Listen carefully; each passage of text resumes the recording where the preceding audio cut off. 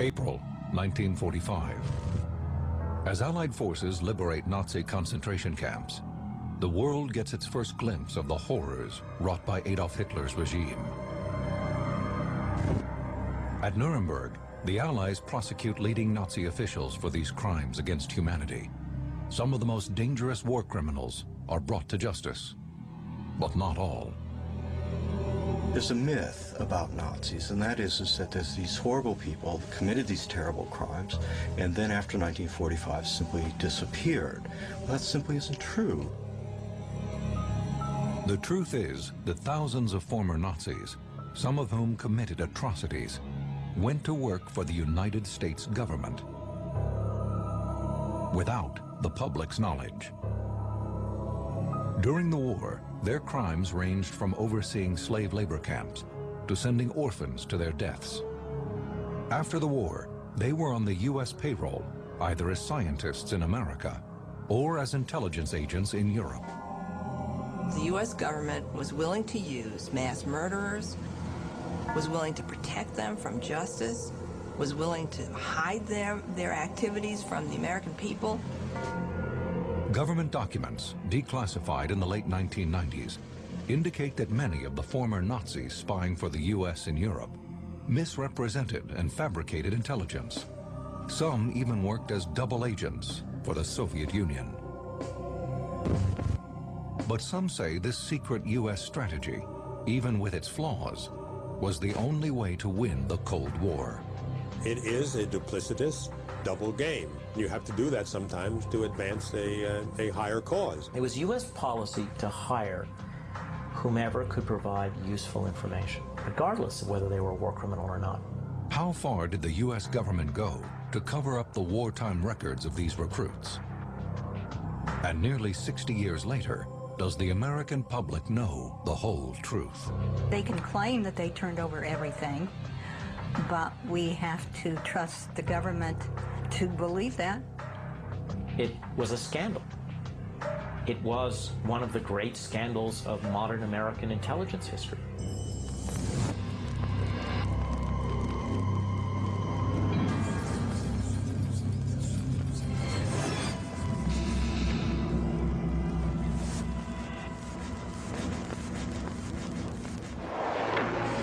Germany, spring 1945.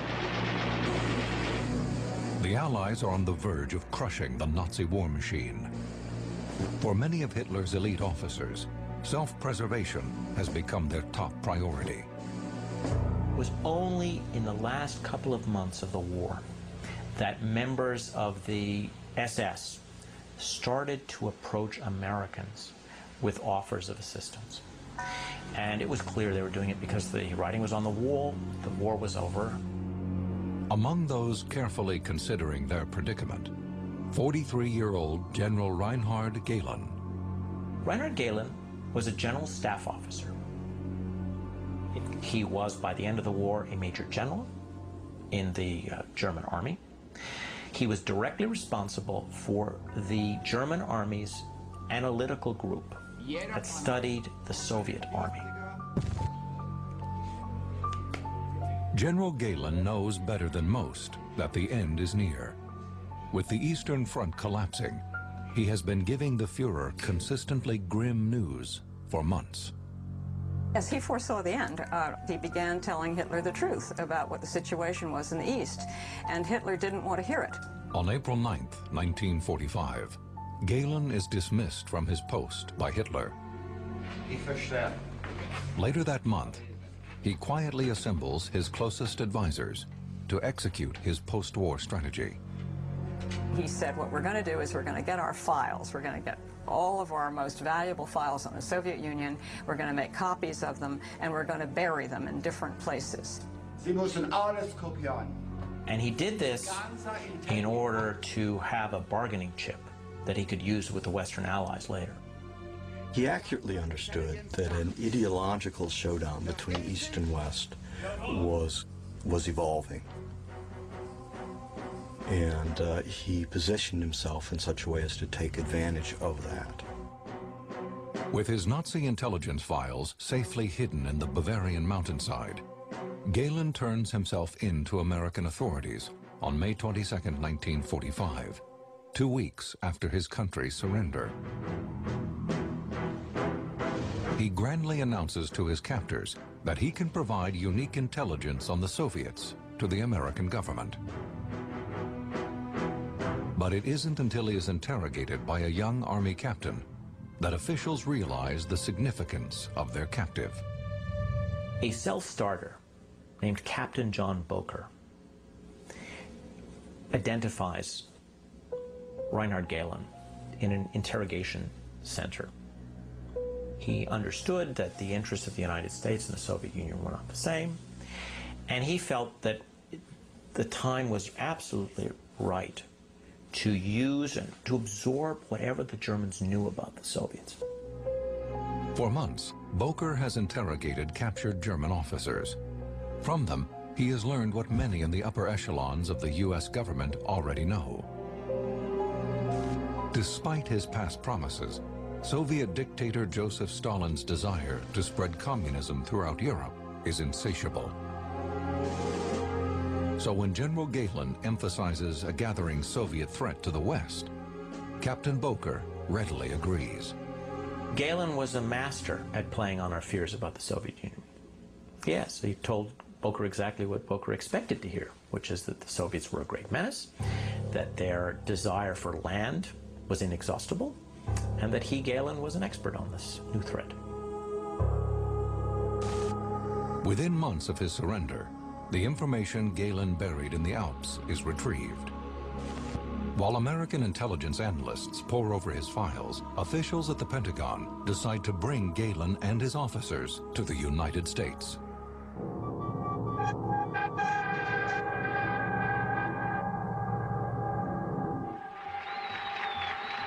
August 14, 1945. The Japanese surrender unconditionally. World War II is over. Ten days later, Gehlen and members of his staff are smuggled into the U.S., disguised as American civilians. This would have been a political disaster if it had been known, because the, the general feeling would have been indeed that we'd taken on a bunch of Nazis. And this was a time when we just wanted to string them up and here we were on the side working with this German general.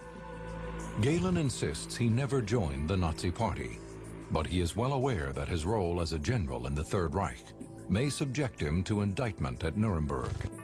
So upon his arrival at Fort Hunt, Virginia, General Gehlen sets about reinventing himself for his new American colleagues when he was at Fort Hunt. He was creating this legend about himself as he really was. He was not really a Nazi. He was just someone who was a pure spy technician who at this stage of the game is an ardent anti-communist who happened to be a very skillful espionage expert who just wanted to work for the cause. According to author Christopher Simpson, however, Gehlen did more than gather intelligence. The former general is responsible for the brutal treatment of Soviets in Nazi POW camps you had interrogators under Gehlen's authority interrogating the people in the camps and also offering them a choice of life or death. In other words, if you cooperate with and give us the intelligence you need, we'll give you some food. And if you don't cooperate, we won't and you'll die. Even as U.S. officials consider what to do with Hitler's henchmen, Gehlen quickly learns that increasing Soviet aggressions in Eastern Europe have already enhanced his value. The thinking about Gehlen shifts in this period. The Cold War makes it shift. Stalin makes a number of very threatening moves um, in 1945 and 46 that shakes up the debate about the future of U.S.-Soviet relations. We suddenly realized these guys are not trustworthy at all, and that frightened us badly. In the end, Washington's decision in 1945 to work with Gehlen is made out of an urgent need for spies who could provide solid intelligence about the Soviet Union. Most of the experts from that time, I've interviewed a number of them, agree that the files were essentially empty concerning Eastern European and, and Soviet affairs. As a result, the U.S. abruptly shifts from hunting key Nazis to courting them On the one hand, you had units of the U.S. Army Counterintelligence Corps doing their job, tracking down Nazi war criminals. On the other hand, you had other units of the same organization recruiting them to work against the Soviet Union. When I arrived in Austria, my NCO, when I reported to him for duty, on the wall was a chart, uh, automatic arrest categories of the Nazi Party and its affiliates. If you ran into these people, you were supposed to arrest them. And I said to him, I said, Izzy, what about this? Said, forget about it. We're after the communists now. In the summer of 1946, Reinhard Gehlen returns to Germany. Hitler's former general is now working for the United States. His orders? Recruit agents who can gather fresh information on the Soviets. Almost all of the operatives Gehlen recruits are former Nazis. Some are known war criminals, and all are now on the U.S. payroll. What Gehlen wanted to do was get as big as fast as he could because he knew that his survival depended on it. Gehlen is now the primary U.S. source of intelligence about the Soviet Union based in Germany. Can a former Nazi general be trusted? It's a question that will haunt U.S. intelligence for years to come. In the meantime, U.S. officials will begin another secret alliance with former Nazis. The original idea was to utilize German science. And out of that came uh, the Project Paperclip.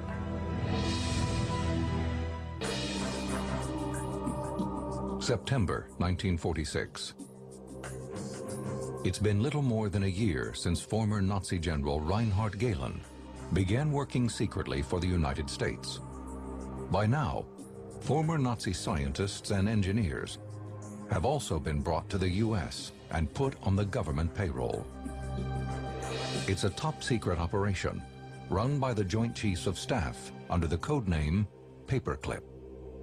The project is named for the paperclips used in the files of the new German recruits. The project's purpose was to bring German scientists to the United States and use their skills. They would work for the U.S. military. Under President Harry Truman's guidelines, war criminals are supposed to be excluded from the program. But to the Joint Chiefs, this restriction impedes their mission of recruiting former Nazi scientists quickly, before the Soviets can grab them. The background checks were coming in that, lo and behold, some of them violated President Truman's policies. If you're dealing with hundreds of these scientists, you're not going to have those full field investigations. People come through with paperwork. Paperwork looks kind of good, looks kind of bad, but, you know, there's no written order that they found. Bring the guy in. And so they simply doctored the files and sent whitewashed dossiers to the State Department. One of these files is that of Arthur Rudolph. He will later become famous as the project director of the Saturn V rocket program, which will one day help put a man on the moon. During World War II, Arthur Rudolph was the operations director of the Mittelwerk factory in this uh, cave underneath Kohnstein Mountain he was responsible for overseeing the production of the V-2 missile. And to do that, he had the idea of using concentration camp inmates. Rudolph regularly exploited the labor of hundreds of prisoners from the Dora concentration camp who were put to work on his project. There was inadequate ventilation. In the winter, they froze. Uh, the dust from blasting uh, permeated the atmosphere. Prisoners at the Mittelwerk perished in, in large numbers, both because of the inhumane conditions down there uh, and uh, as a result of physical abuse by uh, civilian personnel and by the SS guards. All this happened on Rudolph's watch. He controlled the food, he controlled the conditions in the factory for these poor people and was responsible for that. Experts estimate that 20,000 men died in the tunnels at Mittelwerk. Despite his war crimes, Rudolph is recruited by the U.S. military. The official evaluation was that he was 100% Nazi, dangerous type, and it was suggested that he be interned. Uh, in fact, uh, what happened was he was instead employed. By the end of 1946, unbeknownst to the public, the U.S. government has two major programs staffed by former Nazis. Under Project Paperclip, former Nazi scientists are being sent to work at various U.S. military bases. Next. At the same time, in Eastern Europe, former General Reinhard Gehlen's organization is collecting fresh intelligence on the Soviet Union. His organization now employs hundreds of agents, many of them former Nazis. It survives on about half a million dollars a year in Pentagon funding. Gehlen operates with little oversight. The U.S. Army monitored this organization with two people. That's it.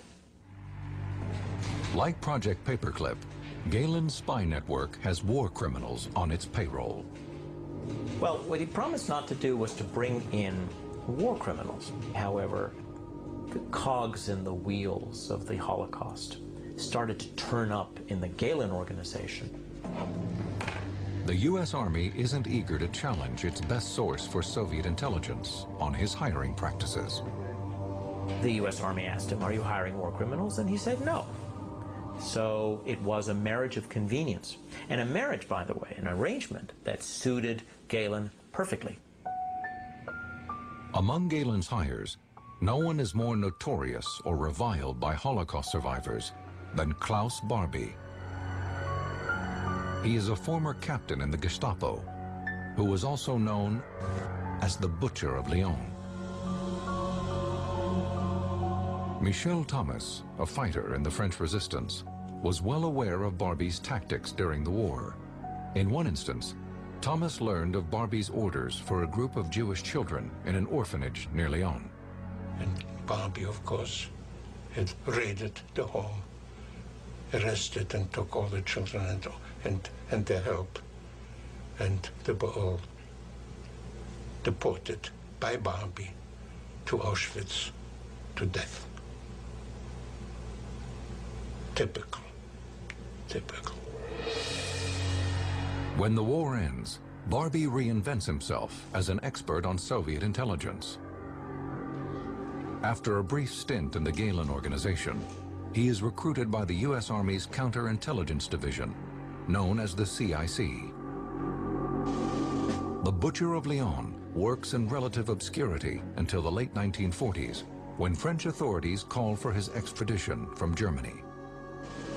When this became enough of a political uh, crisis or political issue in France, American CIC decided to smuggle Barbie out of Europe to get rid of him, to hide him.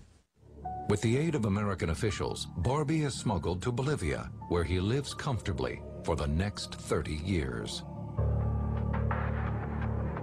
These former Nazis would seem to be valuable intelligence assets in the Cold War. But documents declassified by the U.S. in the late 1990s cast doubt on the accuracy of the information reported by Gehlen and his spy network. They had to exaggerate the onerous nature of Stalin's regime in, in, in Russia. I mean, why don't you just say the facts? Bad enough. But so what they did, they, they pumped up reports claiming that Stalin was mobilizing forces, Soviet military forces in, in eastern Germany that they were going to lurch across the boundary and, and attack Western Europe at any time? Why? Because if the Soviets weren't about to attack, then what do you need Gehlen for?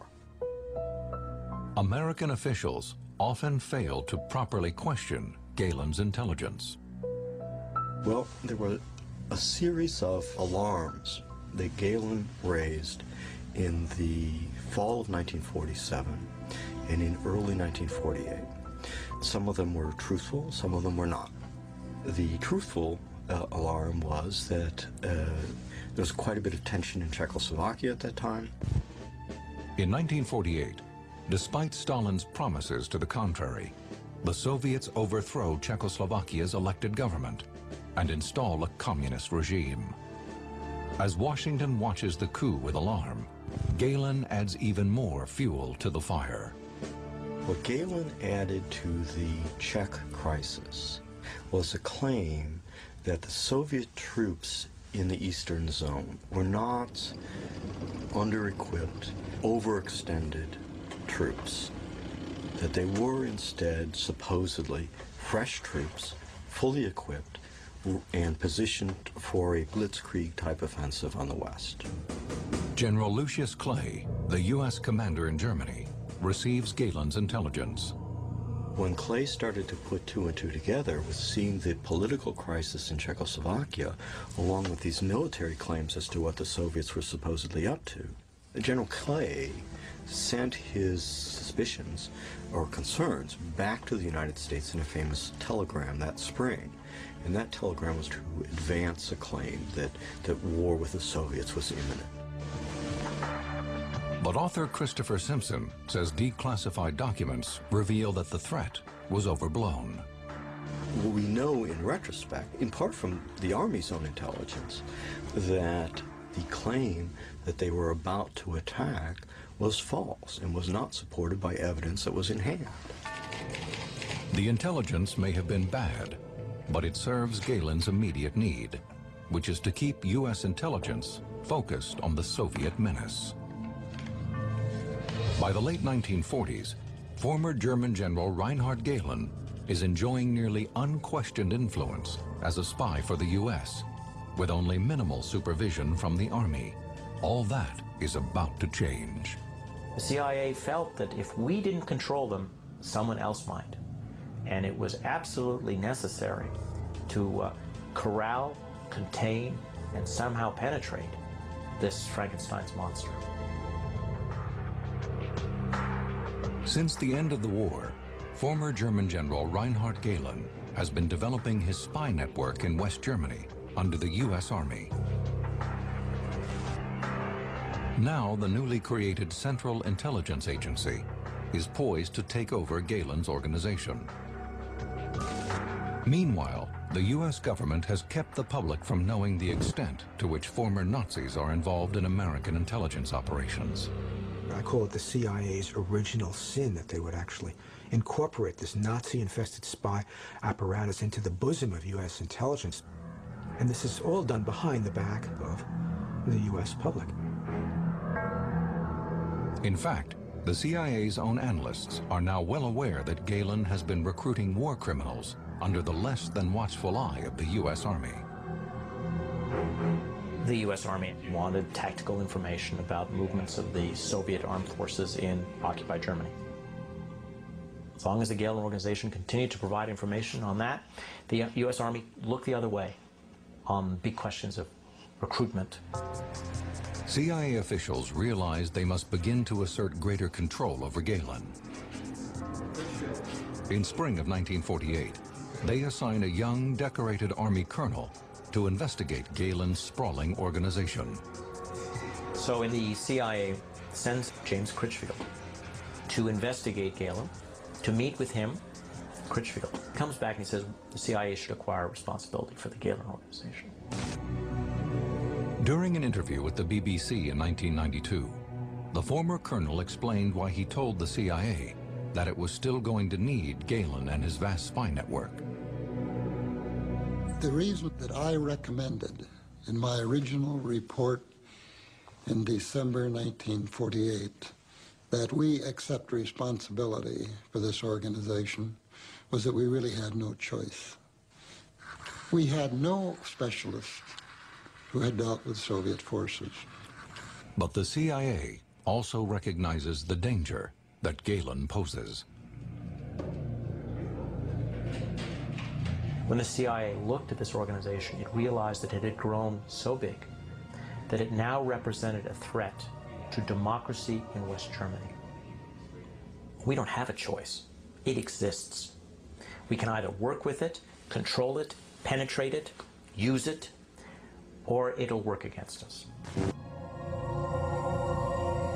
And once again, growing Soviet aggressions helped to improve Gehlen's position with U.S. officials. In June 1948, Stalin imposes a blockade on West Berlin, attempting to starve the city and force it to submit to communist control. U.S. warplanes deliver food and medical supplies to the city. And nearly a year later, Stalin finally backs down. The Berlin crisis sparks widespread fear in the West that war with the Soviets is imminent. Oh, oh. It is in this atmosphere that the CIA elects to maintain Gehlen's organization.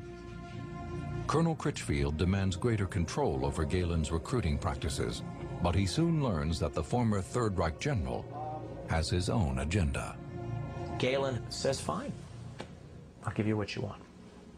As soon as it's clear that the CIA is going to pick up the tab for Gehlen, the trap shuts. And he says to the Americans, I'm sorry, you misunderstood me. I can't give you the names of the people I'm hiring. That would be against German prestige. Gehlen also chides his American supervisors, reminding them of how little they know about running a European intelligence operation. You're so naive, you Americans. We Europeans have been spying for centuries. You have to have confidence that I understand how to run an intelligence organization. Ultimately, the CIA's attempts to control Gehlen proved no more successful than the Army's.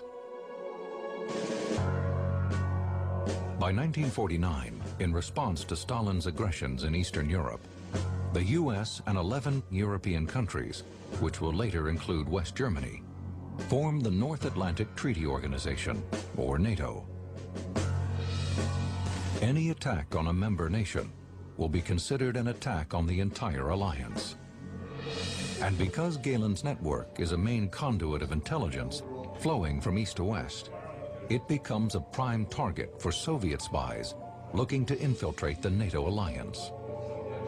It was harder for the Soviets after World War II to penetrate directly the United States government, but it could penetrate the Gehlen organization and acquire NATO secrets. One method by which Soviets gain access to the Gehlen organization secrets is to blackmail the same Nazi war criminals hired by Gehlen, forcing them to work for the Soviets. They used what they knew about the backgrounds of people in the Gehlen organization against those people. It basically said, listen, we know what you did in World War II, and if you don't work for us, we will expose you. As a result, many of Gehlen's operatives become double agents, spying on the US and NATO for the Soviets. The worst among these is Heinz Felfe, whose treachery blew the covers of hundreds of spies. Heinz Felfe had been in the SS during World War II. He worked his way up the Gehlen organization and ultimately became chief of Gehlen's operations against Soviet intelligence. And he was a Soviet mole. What this means is that every Gehlen operation in the Soviet zone was penetrated and compromised to the Soviet Union by Felfe. As declassified documents now reveal, since 1949, the CIA had been spying on Gehlen's organization. A number of intelligence professionals in the CIA never wanted to work with Gehlen. And they continue to make the argument that Gehlen is a mistake. Even though the CIA is well aware of the dangers posed by Heinz Felfe, it does nothing to prevent counter-espionage within Gehlen's organization. The blame for this, according to author Timothy Naftali, lies squarely with two parties. It should be laid on Gehlen and laid on the CIA for basically um, mishandling Gehlen and not putting, putting screws to him. In fact, it isn't until 1961 that CIA agents arrest Heinz Felfe as a KGB agent. Through the early 1950s, the CIA continues to investigate additional reports of Soviet penetration of Gehlen's organization.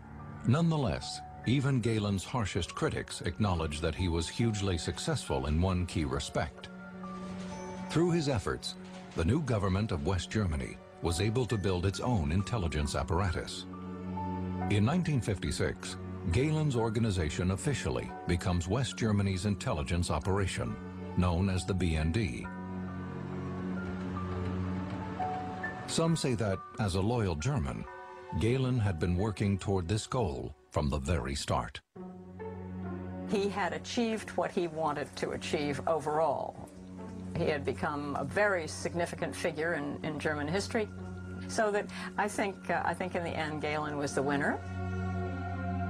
But the true cost of employing Gehlen's organization and using former Nazi scientists will not be revealed for another four decades.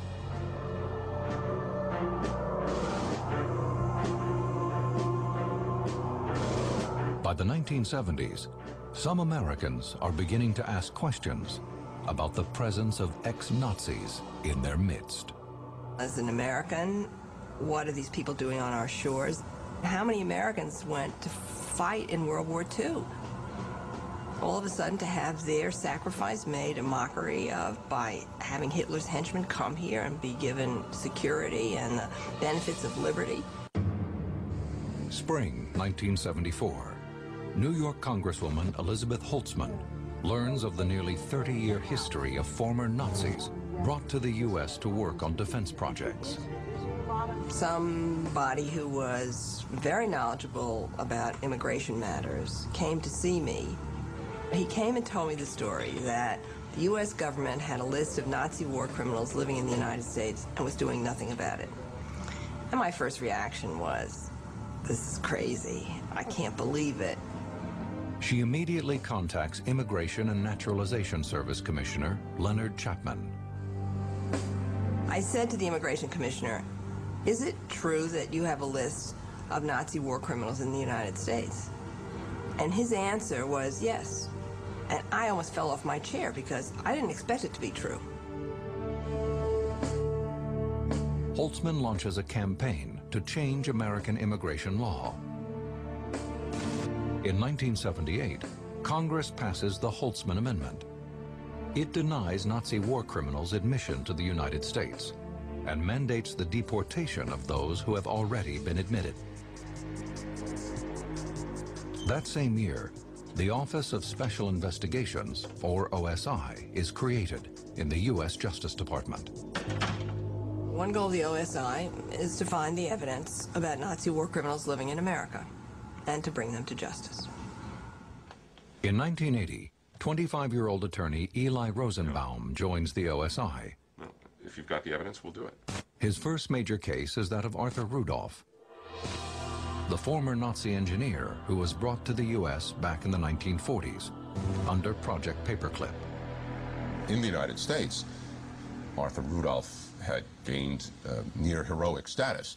Uh, he was, after all, one of the uh, key NASA officials uh, responsible for building uh, the Saturn V, the rocket that took humankind to the moon in 1969. Rosenbaum is convinced that Rudolph has blood on his hands. Decades before, Rudolph exploited Dora concentration camp inmates in his effort to perfect Germany's V-2 rocket used on Allied targets throughout Europe. The utilization of slave labor is a violation of the Nuremberg Charter. It's a crime against humanity. He should have been prosecuted uh, criminally right after the war uh, for what he did, but he wasn't. The two men meet on February 4th, 1983. In a tape-recorded interview, Rosenbaum attempts to get Rudolph to admit his guilt. The following are audio excerpts from that interview. But did it, did it occur to you that they might send you more, might send prisoners? I could have been prisoners, yes. He brought these people down to this hellhole, knowing exactly what gruesome conditions uh, they were going to be exposed to, and he did it without any concern uh, for their for their lives or their health. You must have thought of who was going to build these rockets. I mean, they were going to be working for you, a lot of them. Yes, uh, but uh, the uh, situation was so confused at that time. At the Mittelwerk, prisoners uh, who were involved in production had different kinds of little badges, little sewn cloth to indicate what kind of prisoners they were, for instance, political. I don't recall what probably. You sure you don't recall uh, like yellow, like a yellow Star of David? No. You don't recall that? Despite Rudolph's denials, Rosenbaum and the OSI believe they have enough evidence to prosecute the former Nazi. The OSI was going to bring a case against him, and Rudolph left the country rather than face certain deportation because of the uh, war crimes that he engaged in. The OSI stays on the hunt for other Nazi war criminals living in America. But the full story of the use of former Nazis by U.S. intelligence during the Cold War will remain classified for another 20 years. The former Soviet Union had opened up their files, yet the American government, the country of openness, of a democracy, was still uh, veiling it in total secrecy. In the mid-1980s, new questions emerge about the use of former Nazis in American scientific and intelligence operations. Beginning in 1984, author Mary Ellen Reese spends six years researching Reinhard Gehlen and his ties to the CIA. One very, very senior CIA officer said to me, we have papers that say things about Gehlen that we don't want on the record. We don't want the people to see that. Over the next decade, even with the fall of the Berlin Wall and the disintegration of the Soviet Union, the CIA remains unwilling to open its files. In 1998, Congress passes the Nazi War Crimes Disclosure Act, sponsored by New York Congresswoman Carolyn Maloney. The bill requires the CIA to reveal details about its relationship with former Third Reich officers, including Reinhard Gehlen. They insisted on having uh, an item that said that anything that pertained to current national security could not be disclosed. But this was 50, 60 years after World War II.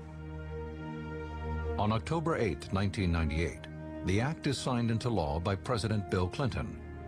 Over the next six years, 8 million documents from the CIA, U.S. Army, and other government organizations are made public, the largest declassification of U.S. intelligence records in history.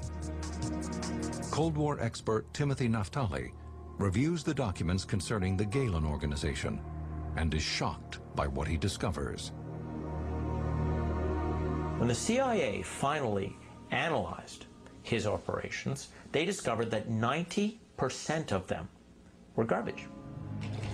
They were either fraudulent, they didn't exist, or the information that was being provided was worthless. Naftali and others believe this faulty intelligence was detrimental to the U.S. The United States paid a very serious price for relying on Gehlen for intelligence. Uh, part of the price was protecting Nazi war criminals. Part of the price was not fulfilling our treaty obligation to prosecute war criminals, which we have a legal treaty obligation to do. Two-thirds of the raw intelligence that filtered into NATO came through the Gehlen Network. So they played a very important role during uh, the, the, Cold War, and I fear also a very negative role in terms of influencing U.S.-Soviet relations in a way that wasn't helpful to either country, but was ultimately helpful to Gehlen and his Nazis. Critics also question whether engineers like former Nazi Arthur Rudolph made a real contribution to American scientific progress. Arthur Rudolph was a competent administrator of large scientific enterprises. He was a CEO type, if you will. He had management skills. Uh, the claim that the United States needed Rudolph uh, is, uh, I personally, I see no evidence that supports that. French resistance fighter and concentration camp survivor Michel Thomas was recruited in March of 1945 by U.S. Army intelligence. He was present with Allied troops at the liberation of the Dachau concentration camp on April 29, 1945.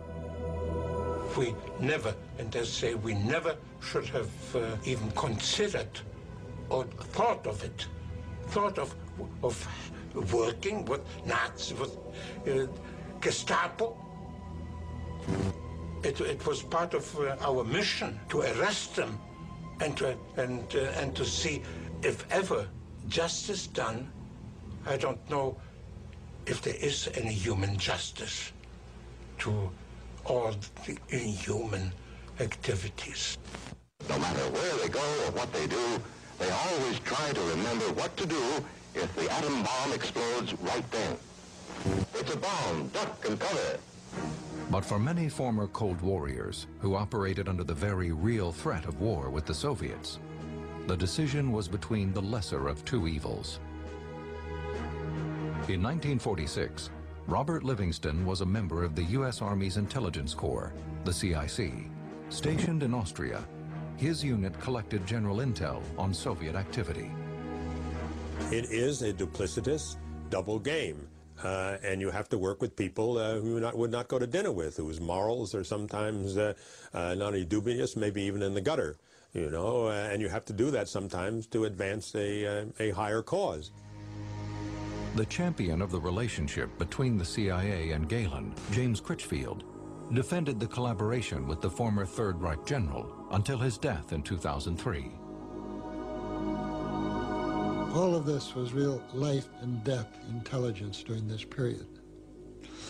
And I think it's, it's for that reason that there was no questioning by anyone of uh, the value of it at that moment in history. Critchfield reminded critics that Gehlen's organization built an intelligence apparatus for West Germany that served the Western Alliance throughout the Cold War. Christopher Simpson acknowledges this, but still disputes the wisdom of working with Gehlen. A lot of people argue that collaboration with the Nazis was not necessarily a bad thing.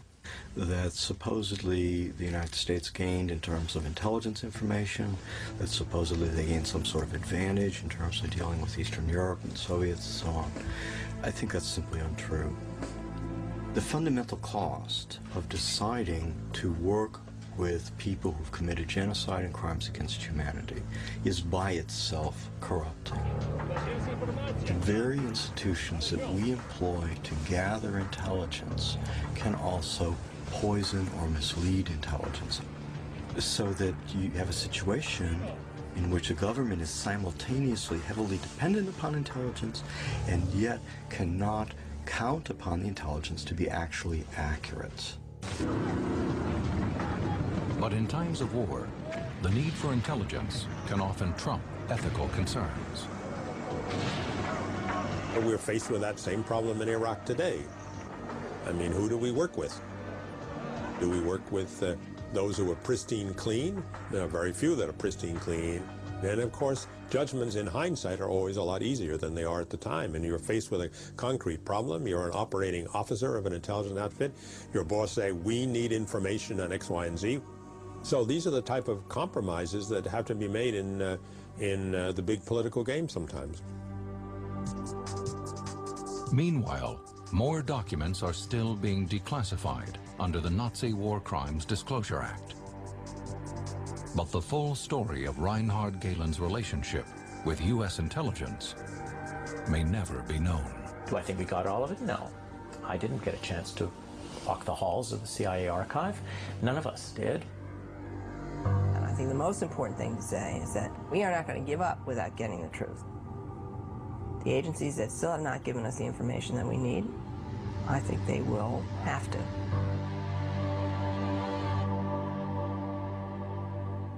The preceding program presented theories about an historical event that is shrouded in mystery. It contained archival footage, reenactments, and dramatizations, which invite you, the viewer, to draw your own conclusions.